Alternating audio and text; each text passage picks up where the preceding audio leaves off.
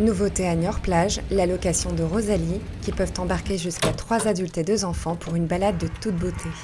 Cette semaine, à Niort Plage, nous avons testé pour vous les Rosalie à assistance électrique, une belle balade dans Niort et le long de la Sèvre.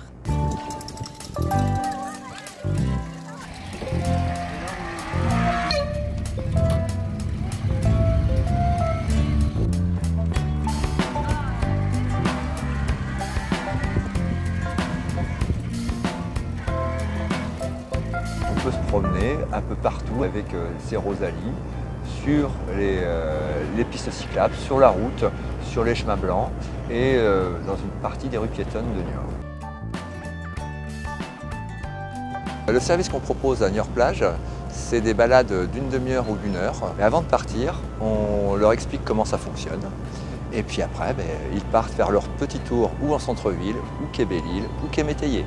Pour Niort Plage, on a trois parcours. Deux itinéraires qui font une demi-heure, qui partent du Pré-le-Roi. L'un va en centre-ville, l'autre va sur les quais Belle-Île. Et un parcours, euh, un itinéraire d'une heure qui va jusqu'au Chisel, donc euh, qui passe les quais Métayer. Une activité très sympathique, j'ai beaucoup aimé. J'ai pu conduire la Rosalie. On a visité du coup de manière différente euh, Niort, que je ne connaissais pas cet angle-là. Et je referai.